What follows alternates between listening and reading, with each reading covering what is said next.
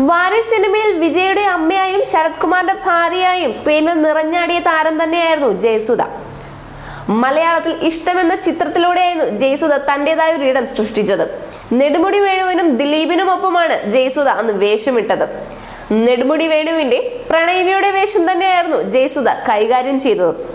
ഈ ഒരു വേഷം മലയാള സിനിമയിൽ അടയാളപ്പെടുത്താൻ ജയസുധയ്ക്ക് കഴിഞ്ഞു. ഇപ്പോഴത്തെ ജയസുധയെ കുറിച്ച് ഞെട്ടിക്കുന്ന ഒരു വാർത്ത തന്നെയാണ് പുറത്തു വന്നിരിക്കുന്നത്. അറുപത്തിനാലാം വയസ്സിൽ താരം മൂന്നാമതും വിവാഹിതയായിരിക്കുന്നു.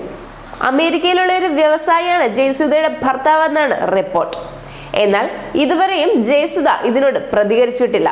കഴിഞ്ഞ മാസം മുതൽ ഇതിനെ സംബന്ധിച്ചുള്ള ഊഹാപോഹങ്ങൾ നടന്നുകൊണ്ടിരിക്കുകയായിരുന്നു.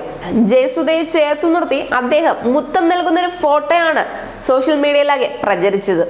ജയസുധയുടെ ഒപ്പം കാണുന്ന വ്യക്തി ആരെന്നുള്ള ചോദ്യത്തിന് ഇത് ബയോഗ്രഫി ചെയ്യാൻ താല്പര്യമുള്ള വ്യക്തി എന്നായിരുന്നു താരം അന്ന് പ്രതികരിച്ചത്. എന്നാൽ ഇത് അങ്ങനെയല്ല ജയസുധ മറ്റൊരു വിവാഹം കഴിച്ചു എന്നാണ് ഇപ്പോഴുള്ള റിപ്പോർട്ടുകൾ. കാക്കർപ്പുടി രാജേന്ദ്ര പ്രസാദിനെയാണ് ജയസുധ ആദ്യം വിവാഹം കഴിക്കുന്നത്. എന്നാൽ ഈയൊരു ബന്ധം അധികം നാൾ നീണ്ടു നിന്നില്ല. തുടർന്ന് ഇവർ വിവാഹമോചിതരാകുകയായിരുന്നു. പിന്നീട് ബോളിവുഡ് നിർമ്മാതാവ് നിതിൻ കപൂറിനെയാണ് ജയസുധ വിവാഹം കഴിച്ചത്. എന്നാൽ ഇദ്ദേഹം മരണപ്പെടുകയായിരുന്നു.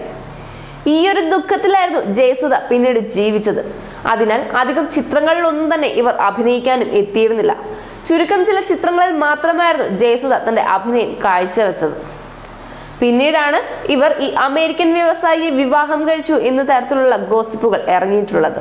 നാല് പതിറ്റാണ്ടുകളായി ജയസുധ സിനിമാ ലോകത്ത് സാന്നിധ്യം അറിയുന്നുണ്ട്.